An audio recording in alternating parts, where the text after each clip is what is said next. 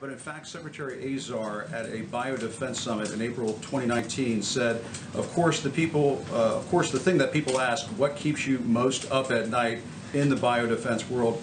Pandemic flu, of course. I think everyone in this room probably shares that concern. pandemic flu preparedness. Uh, we knew about SARS, we knew about MERS, which were earlier modifications or variants of the coronavirus. Uh, none of those achieved anything like what we're seeing today.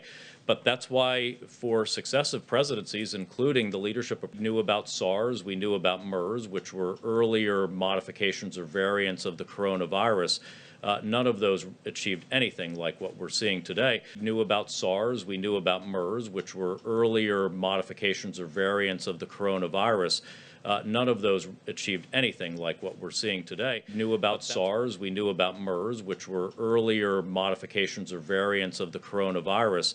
Uh, none of those achieved anything like what we're seeing today. We knew about SARS, we knew about MERS, which were earlier modifications or variants of the coronavirus.